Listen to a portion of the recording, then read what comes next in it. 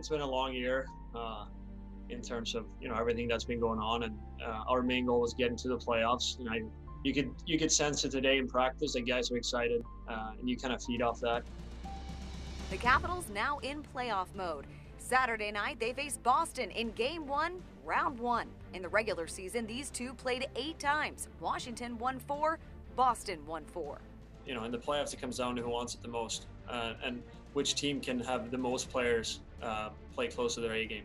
And, uh, you know, I believe that, you know, our team has a good chance of doing that. So, and it's, it, it starts, uh, it starts Saturday talk about who wants it the most, and we've seen how momentum can play a big role, especially in the playoffs. So, how important is it for you guys to get off on the right foot?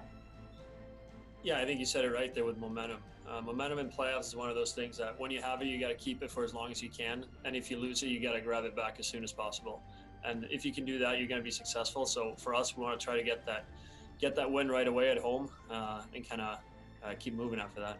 This marks Carl Hagelin's 10th season in the NHL, and every year since making his NHL debut with the New York Rangers in 2011, Hagelin has gone to the playoffs, even winning two Stanley Cups with the Pittsburgh Penguins in 2016 and 2017.